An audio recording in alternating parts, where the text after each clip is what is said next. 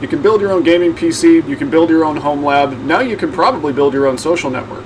Even the smallest nodes of Kash have all these features, so you can give this a shot. If you create a tag like this, which says memes, this can create a news feed of content that you've pushed into your node from the app. Then, if you come back out here and you go through setup steps like, say, creating a mobile app QR code, this will allow someone to post data to your node. And then, if you wanted to share the tag memes, you would select pod management, create a pod, call it the memes pod, put some text in here for a description, generate the shared key for it, and then advertise the tag memes. And then you get the second QR code the person scans into the app.